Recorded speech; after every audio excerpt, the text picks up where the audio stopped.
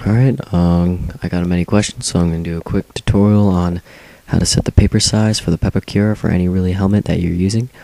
So, uh, let's get this started right now. Right now, I want you to open up your Pepakura.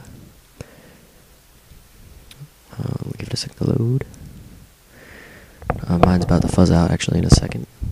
Yeah, see, it's just fuzzing out. Just basically open up the file of the helmet or and or weapon or armor that you want to choose. So I'm choosing the Recon helmet right now, actually. As you can see, it's the Recon helmet.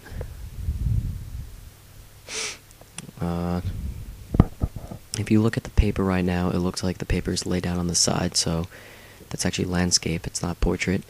Landscape, you would have to switch it over. Usually it's set on portrait. So go to your uh, print and paper, make sure it's set on letter, not any other paper size. That's just the length and size of the paper. It makes the paper bigger if you choose any other one, so just keep it on letter how it is normally. Go open up your print settings. I don't have a printer hooked up, so I'm going to be using this. It's the same thing. Go to preferences, go down, and click on to see, make sure it's on letter. Letter also. It's on letter right now. No, nothing else. You don't really click on anything.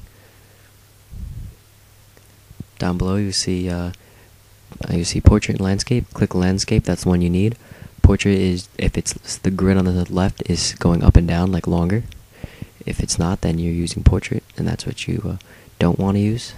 Right now it should be set to portrait, but you want to switch to landscape because that's how you're going to print it out and make sure everything's the same size. If you don't, everything will be cut down in half, at least almost in half. So uh, that's it. That's all I have to show to you today. If you uh, need any questions, just comment or and subscribe on my video. Thank you.